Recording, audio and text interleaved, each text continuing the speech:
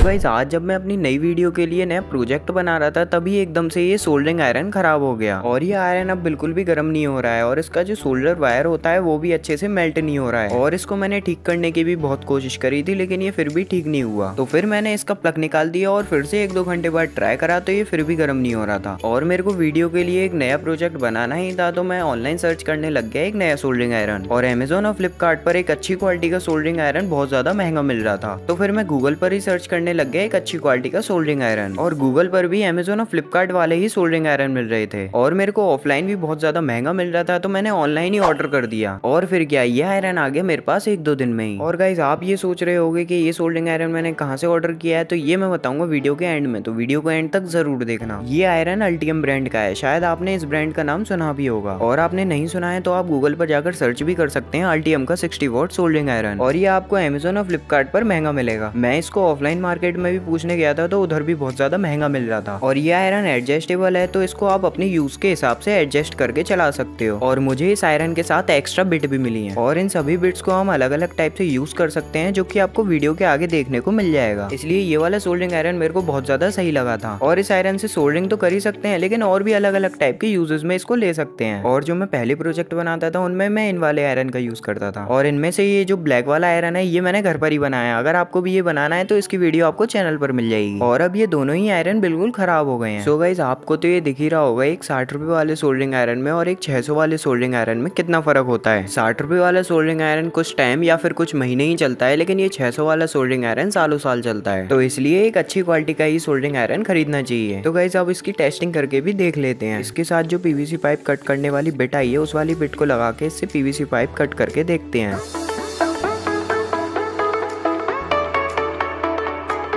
So guys इसका temperature यहाँ से कम और ज़्यादा हो जाता है। अगर आप हैवी यूज़ कर रहे हो तो इसका टेम्परेचर ज़्यादा भी कर सकते हो और छोटे मोटे प्रोजेक्ट के लिए इसका टेम्परेचर कम करके भी चला सकते हो। तो इस वाले पीवीसी पाइप को हम इस वाले आयरन से कट करके देखते हैं। और गाइज़ अगर आप इस चैनल पर नए हो तो चैनल को ज़रूर सब्सक्राइब कर लेना और वीडियो को भी लाइक कर देना। तो ये आयरन इस पाइप को इजिली कट कर रहा है। वैसे इस पाइप को मैं पूरा कट नहीं कर रहा, क्योंकि वीडियो बहुत ज़्यादा लंबी हो जाएगी। और ये है इसकी और भी अलग अलग टाइप की बिट और जो पुरानी वाली बिट थी, उससे आप पीवीसी पाइप को कट कर सकते थे, लेकिन ये वाली बिट से आप पीवीसी पाइप में होल भी कर सकते हो।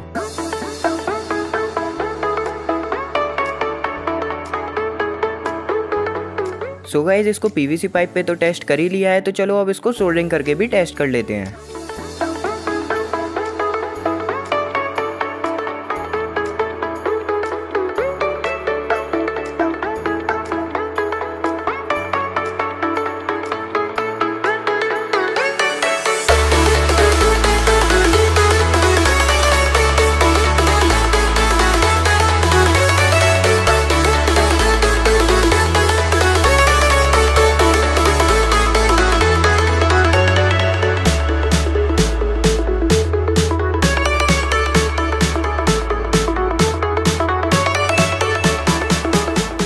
सो गाइज़ अब मैं बताने वाला हूँ, ये सोल्डरिंग आयरन मैंने कहाँ से खरीदा है? तो ये मैंने खरीदा है ए मार्केट से। और ये वेबसाइट आपको गूगल पर सर्च करने पर इजिली मिल जाएगी और इसकी लिंक मैं डिस्क्रिप्शन में और कमेंट में भी दे दूँगा। और इस वेबसाइट पर आपको अलग अलग टाइप के और भी सामान मिल जाएँगे। जैसे की multimeter soldering iron screw driver और भी टाइप के अलग अलग सामान। और आपको ज़्यादा डिटेल में देखना है तो आप वेबसाइट पर जाकर देख सकते हैं। और इस वेबसाइट की मेरे को एक बहुत ज़्यादा खास बात लगी, इस वेबसाइट पर सीओडी अवेलेबल है। मतलब आप यूपीआई और सीओडी दोनों ही कर सकते हो। और इनकी वेबसाइट पर जो सामान होता है, वो भी एकदम प्रीमियम क्वालिटी का होता है। सो गाइज़ ऑर्डर करना मत भूलना। लिंक डिस्क्रिप्शन में और कमेंट में दोनों में दे दी है। सो गाइज़ कमेंट में ये ज़रूर बताना आपको ये सोल्डिंग आयरन कैसा लगा। अगर ये वीडियो अच्छी लगी है तो वीडियो को लाइक कर देना और चैनल पर नए हो तो चैनल को भी सब्सक्राइब कर लेना। तो चलो मिलते हैं नेक्स्ट वीडियो में। तब तक के लिए बाय